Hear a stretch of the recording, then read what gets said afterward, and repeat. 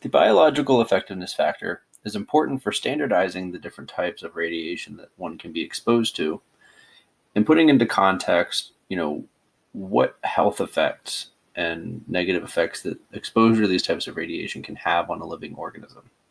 Because as you can imagine, not all types of nuclear radiation are damaging in the same ways.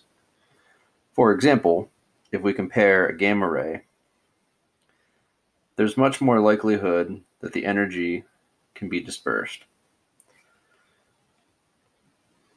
So what this means is if someone is exposed to a gamma ray, you know, there's going to be that initial point on the body where the gamma ray comes in, but ultimately the energy can slowly be absorbed throughout the body, ultimately resulting in a, a lower likelihood that there's going to be some overarching negative effect from that.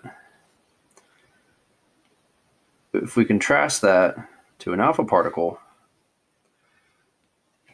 generally the energy from an alpha particle will be used quickly.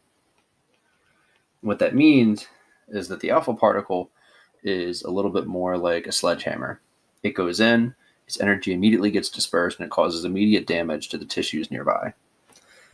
And what the biological effectiveness factor takes into account are these differences between these types of radiation.